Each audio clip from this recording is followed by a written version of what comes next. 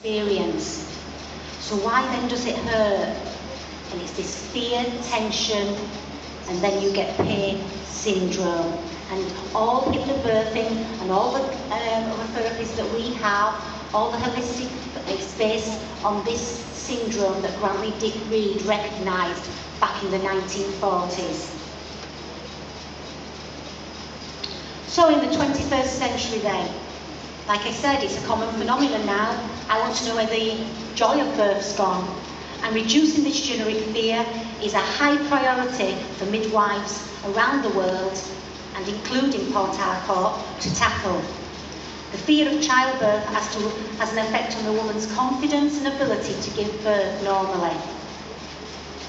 And what we have to address now, common sense, we'll look at there's a lack of understanding of normal physiology and birth. Poor preparation and lack of support and increasing use of technology has all made a contribution to this generic fear of childbirth. So we have to address this. What are we going to do to reduce this fear? It's an extremely important goal during labour and birth. We have to meet the physical, and not just the physical, the emotional needs of women. These have to be addressed. And we know from lots of research and evidence, continuity of care and carer are very, are very beneficial. Being supported reduces the levels of fear and this then will promote normal birth. I'm a May Gaskin. Those who are not terrified are more likely to secrete in abundance the hormones that make labour and birth easier and less painful. So, active birth and support. The woman needs to feel safe and well supported during labour. Remember, we are mammals. We want a nice, calming environment and we need the support. We also need the environment, and this is key, to freedom of movement. Lots of women adopt different positions during labour as a coping mechanism to get them through and progress during the first and then the second stage of labour.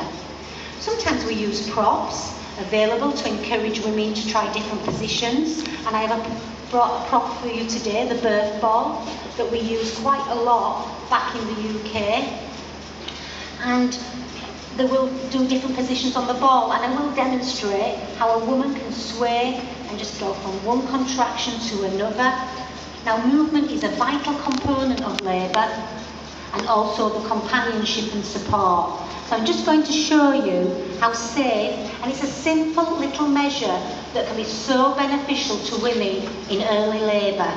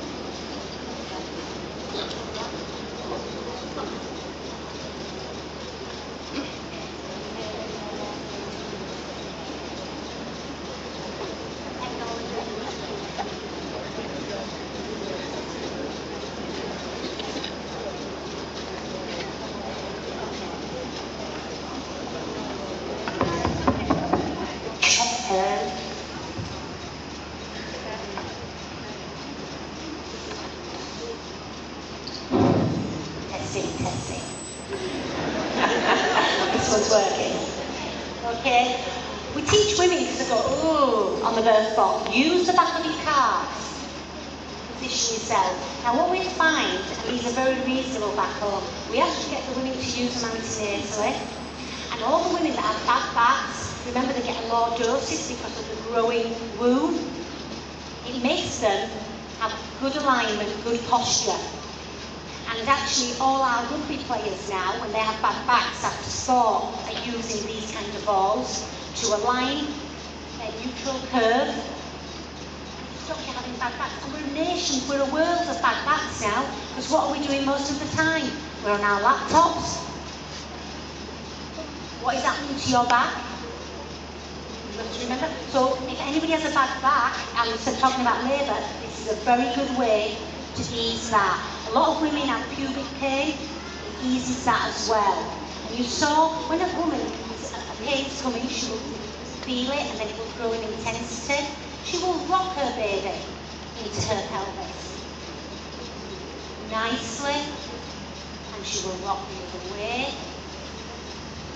As we have done for centuries, but she has to comfort and fall. And she will rock, and when it's getting very intense, she will rock backwards, forwards, and she's opening her pelvic outlet to make it easier for the baby to descend through the birth canal and for her to give birth. And yet it is such a simple method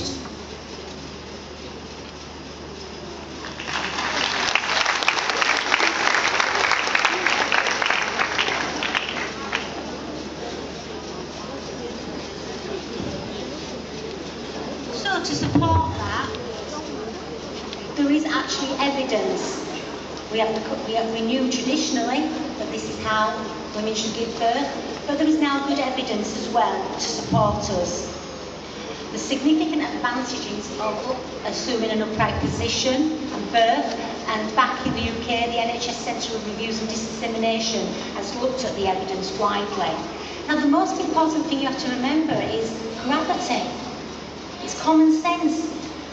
And what happens to women when you put them flat on their backs? What happens to the big aorta artery? you are blocking the blood supply to her and her baby. So that is a disadvantage as well, putting the women on the back. And you get aorto cable compression. You also get better alignment of the baby to come through the birth canal. And it will promote good contractions. And it increases the pelvic outlet. There is good evidence now to support this. And a clinical trial has even demonstrated that there is no harmful effects associated with walking around during labour and women should be encouraged to do this. So a range of positions that women can adopt in the first stage of labour. Women like to change positions. I know when I had my first baby, I walked on the spot. I liked to march. That eased it. And I swayed. It was as if I was doing a slow dance with my baby. I was saying we've got some nice West African music that is nice and calming. Help our babies coming to the world. They will recognise this music. When, because we bond with our babies in the womb, it's called haptonomy. It's very big in France. From 24 weeks pregnancy, we talk to our babies, and I've just done some recent research when we've been involving the fathers. It's very important to involve the fathers. That when the father puts his hand on the growing womb, when babies are awake, they will move to the hand. And they have shown this on scans. It's very interesting. Now, a lot of women will get a lot of pain in their back. Remember their lower back? And it's usually associated with back-to-back position, and not occipital posterior position. And leaning forward and moving and rocking will help turn that baby to a position to be born normally. But see, you can sit in a toilet. Now, I'll probably make you laugh here, because when I was in labour, I was one of those women that just wanted to go to the toilet all the time. So instead of sitting on a chair, I sat on the toilet, facing the cistern, top of the system. And nobody could move me because I was comfortable. Very interesting.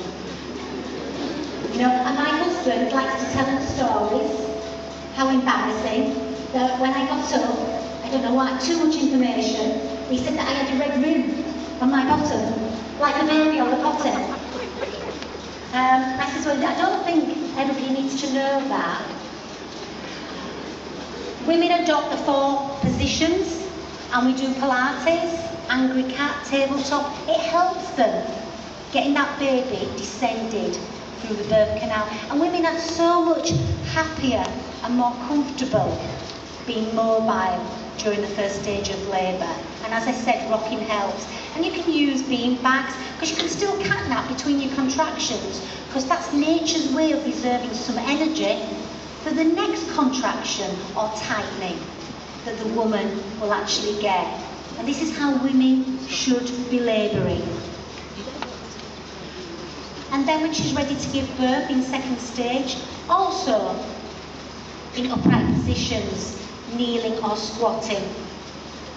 Now, good Cochrane's reviews have demonstrated the benefits, so the evidence is there. And what they found is that women have a shorter second stage of labour, there is less need for instrumental births, and there is fewer episiotomies, and there is estimated blood as well.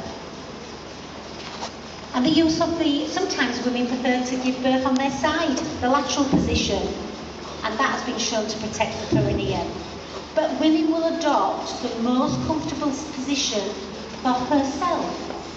She will know. I have been to lots of home births and I have observed, just observed women, and they naturally do this without me having to prompt them. So a range of positions for birth for the second stage. Squatting is advantageous, think about it, to help deliver your baby. Now the pelvic outlet, when you squat, increases one centimetre greater in the transverse diameter and two centimetres in the anterior posterior diameter.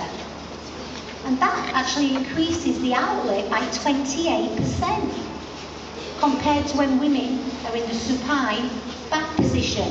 And I just want to demonstrate sideways, just, I always get my students to feel their pubic bone their coccyx and I get them to practice and to show women and I show them the pelvis, how it increases your pelvis from a, just staying straight to actually squatting and I'll just show you.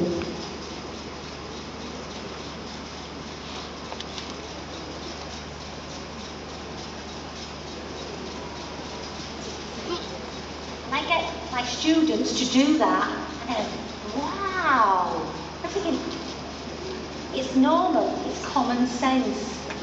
So upright positions, semi-recumbent, kneeling or squatting on a birth board because some women get tired so we have a lot of pillows and they will adopt and will rest on the bed or on the pillow, whichever position is most comfortable for her.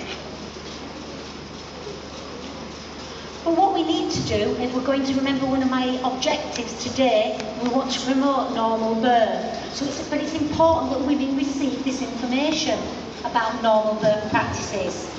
Because women often choose to do what is expected of them.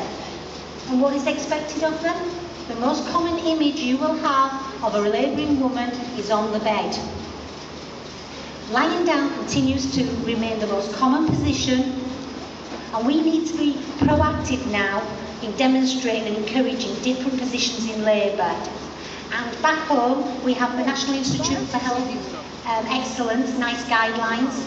It's all the guidelines now by our Royal College of Obs and Gynae, Royal College of Midwives, and the NICE guidelines that women should be encouraged and helped to move and adopt whatever position they find most comfortable throughout their labour.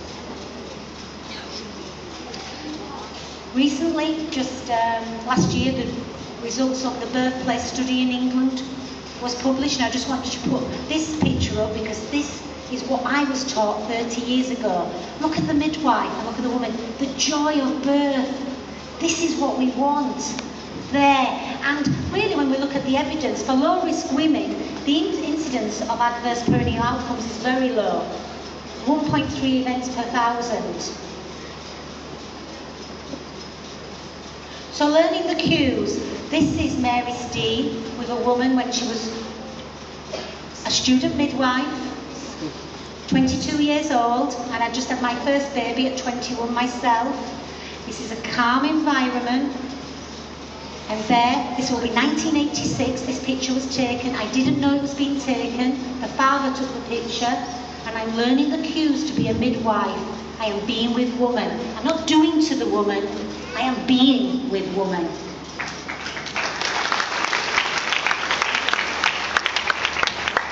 But look at this woman. I'm just there caring her. It was a dark environment. She upright position, nice and calmly. The baby's awake.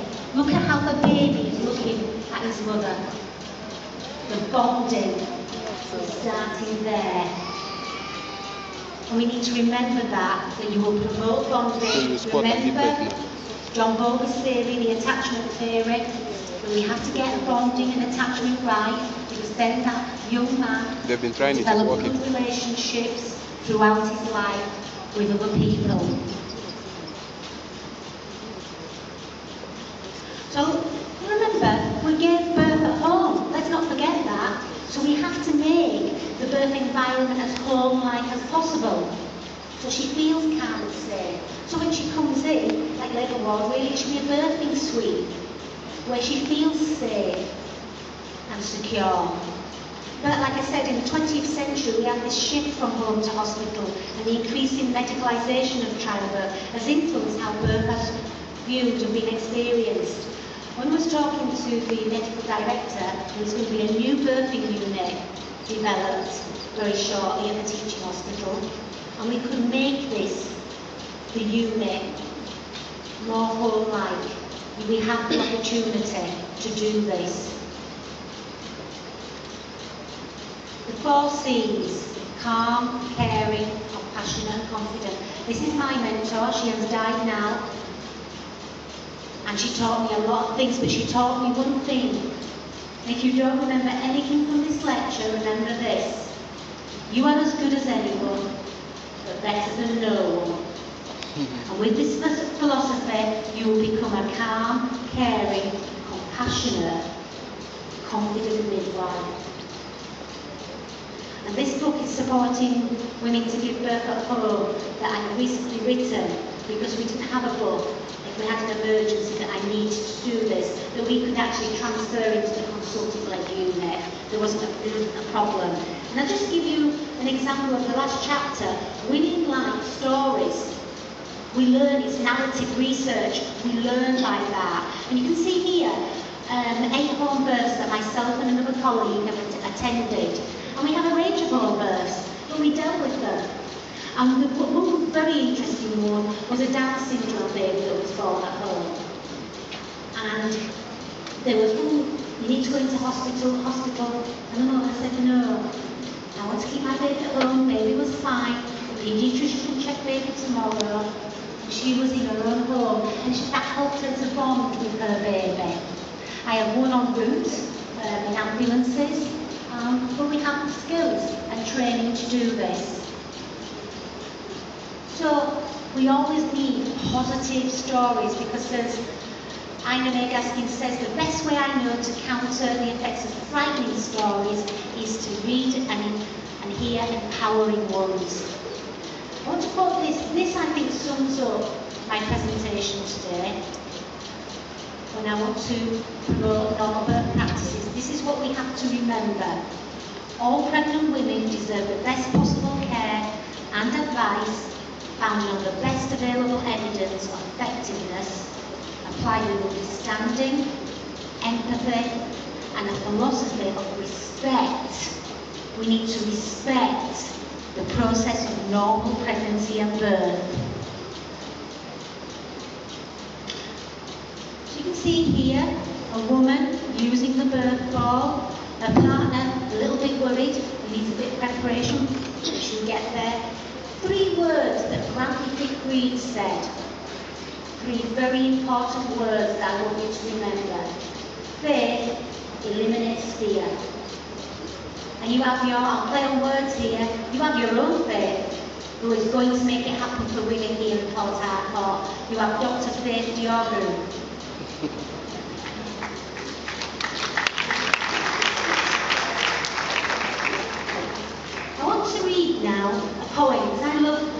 recital poetry.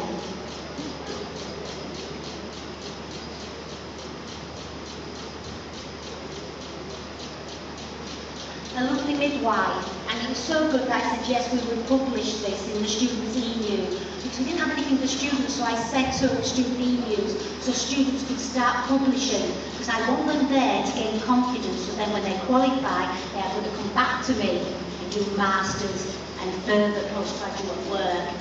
So she wrote this poem, and it's interesting because there's variations in practice, but this is going to be woman-driven that want to adopt different positions and be controlled and well informed about their own verse. But sometimes, even though our intentions are good, we have to look at it through the eyes of the woman.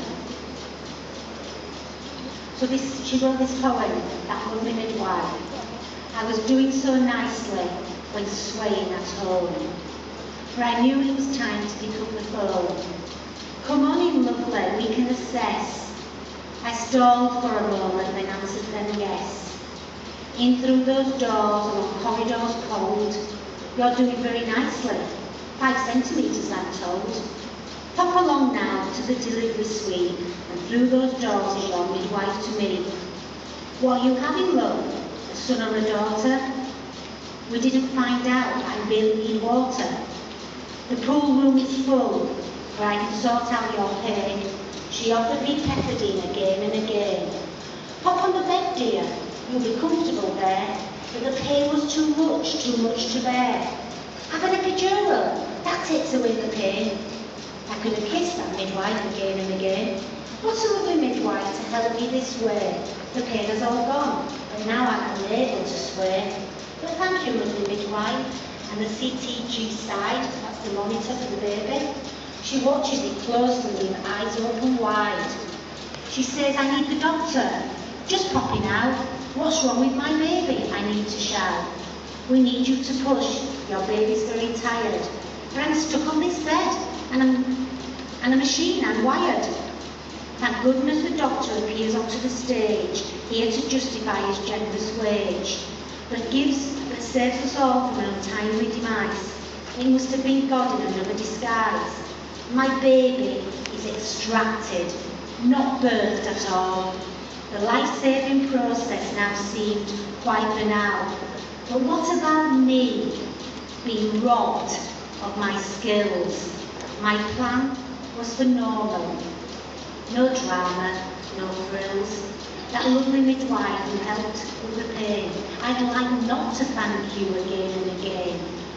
Your lack of trust in me and this rite of passage might have saved me from this grim night of savage. To the student midwives who hear, who might hear of my plight, please remember to keep us women upright. Lying on the bed, fighting against Earth's gravity, hindering the journey through the pelvic cavity. Us women need support, relief and security to save us from an experience of barbarity. Use your kindness to move away that bed, then the signs of normality will never be misread.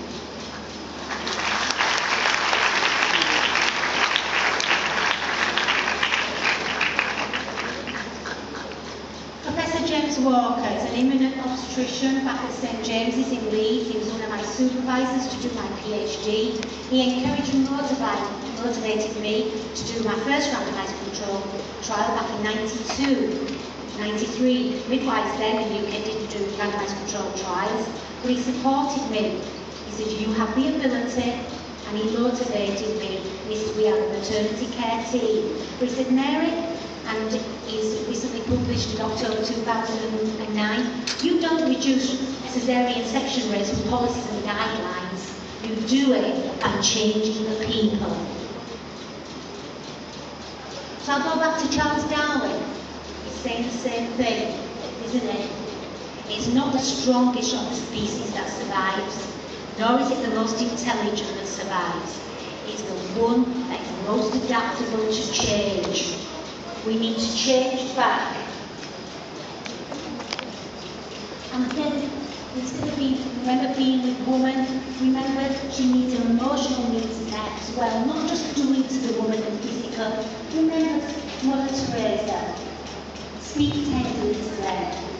Let there be kindness in your face, in your eyes, in your smile, in the warmth of your breathing.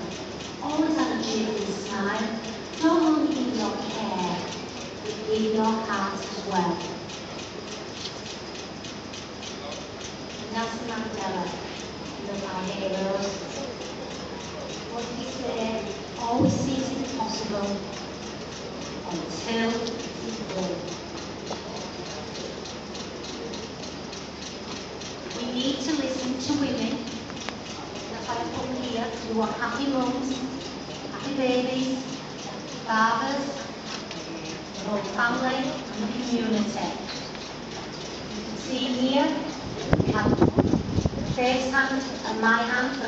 For collaboration. And Faith, we can make this happen.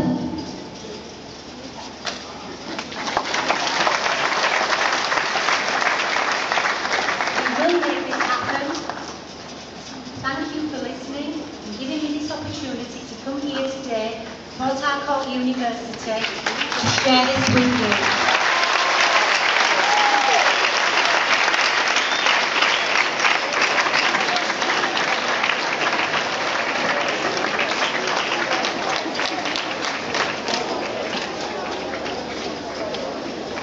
Thank you very much. Shall we please put our hands together once again for Professor Steen?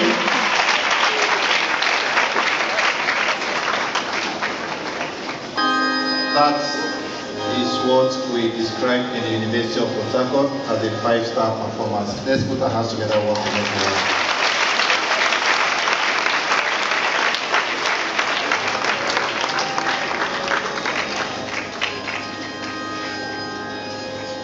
Thank you very much.